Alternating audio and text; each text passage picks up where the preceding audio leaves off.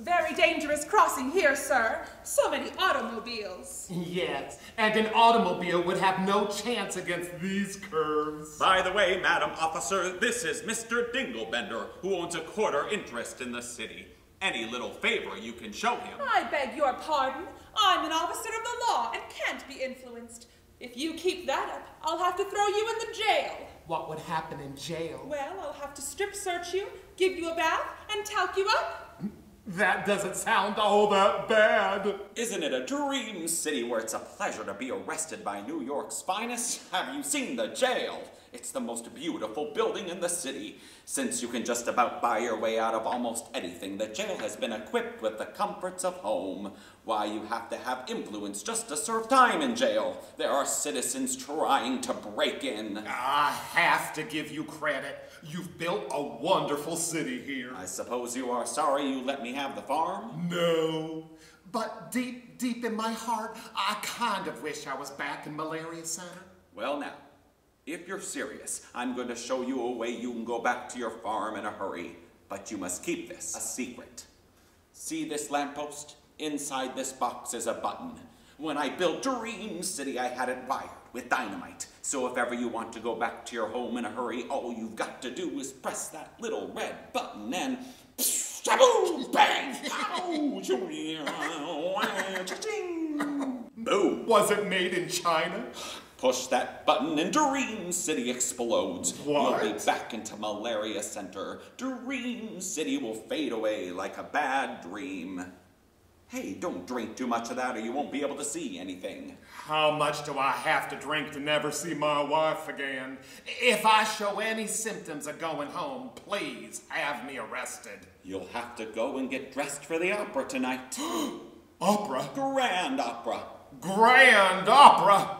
Time to push that button! Don't you like grand opera? Uh, now, don't get me wrong. That opera singer Geraldine Farrar is a real looker.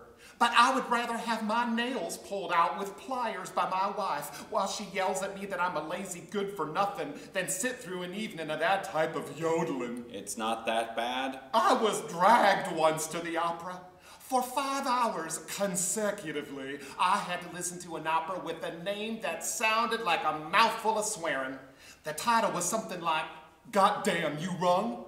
I still can't figure out who rang, but that ain't half as much swearing as what I called it. Extra, extra, extra! Read all about it! Well, show some symptoms of being excited over the news, Dinglebender. What news? Evening gossip here says that you've been selected for mayor. That's right. I forgot to tell you. I didn't even know there was an election. We never have elections in Dream City. Money buys our politicians. No different than anywhere else. But I don't want to be mayor. What do I have to do? Well, at 8:30 a.m., receive kickbacks and bribes. 9:30 a.m. Blow some hot air at the reporters. 10:30 a.m., deliver a speech where you say nothing at all. Uh-huh. 11:30 a.m. Sign some useless bills that help only your friends and yourself. 12 o'clock p.m., spend 15 minutes with your wife in public for publicity pictures and the promotion of family values. Wait just a minute. 15 minutes with my wife is an eternity. Just because of that, I won't do it. It doesn't matter what you want. We only consider our self-interests in Dream City. How long am I sentenced for? A year if the work doesn't kill you. The last mayor worked himself to death in four seconds, did he not? Yes, he did not. Consider it an honor to serve. You have to be filthy rich just to hold the office. And by the way, you have to pay all the city expenses out of your own pocket. I won't do it. I'll sell my money first. There's no use trying to escape. It's the law. Wealth determines the service in this city. As the richest man, you get the highest ranked job and do absolutely nothing for the people. It's normal.